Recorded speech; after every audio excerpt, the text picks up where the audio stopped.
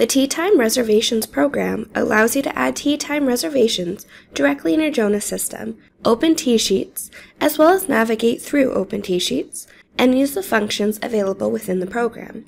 Let's take a look at how to navigate through the tee sheet in the Tee Time Reservations program.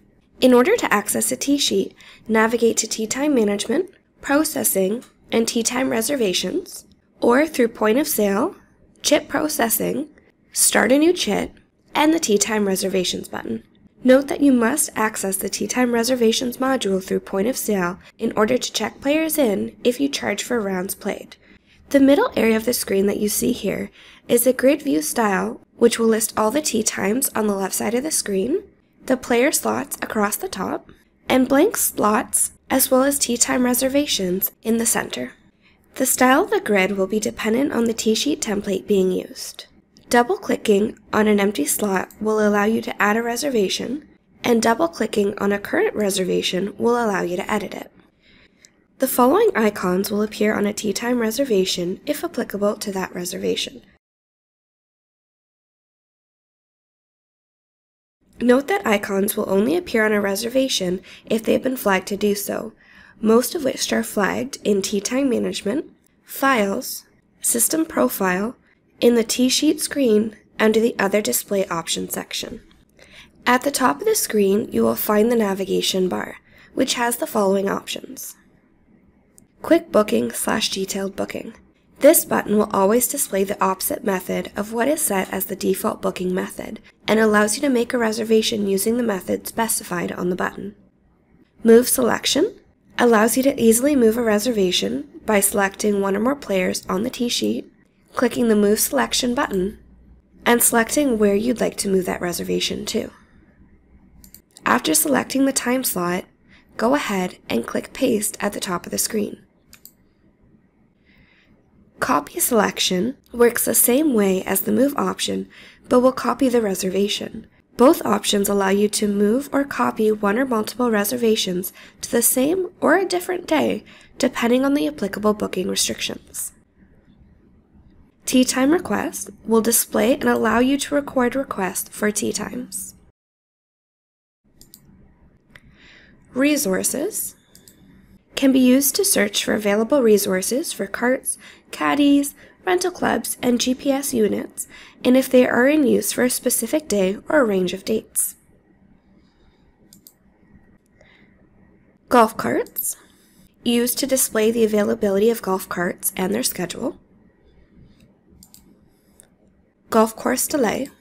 Here you can delay or advance all the tee times on a course for a day and notify all players if desired. Statistics will display statistics for the course and tee sheet. And tee sheet updates, which will display updates made to the tee sheet and can be viewed by all or specific type of update. Updates can be seen for individual as well as a range of dates. Below the navigation bar, you will find the following options. Recycle icon. Click this icon to switch between the available golf courses that you have access to. You can also switch between the golf courses by clicking on the golf course name, which indicates which golf course is currently being displayed. The information icon will display the course amenities, directions to the course, and the golf course policies. Clicking today's tee sheet will jump the screen to today's tee sheet and current time. You can utilize the left and right arrows to navigate through the tee sheet dates. Alternatively, you can click on the date and select the tee sheet you'd like to view. You can also use the expanded View button to view four months worth of tee sheets. The calendar icon allows you to choose a specific date that you'd like to jump to that tee sheet for. Clicking on the time icon will jump the screen to that current time, whereas the clock icon will allow you to choose the time you'd like to jump to. On the right-hand side of the screen, you will find the following options. Exit will close the program. Open Tee Sheet will provide you with the ability to open one or multiple tee sheets. Conditions allows you to record weather conditions for the course, date, and time. tee sheet notes used to create and read both internal and external notes specific to the tee sheet you are viewing. If there are any notes,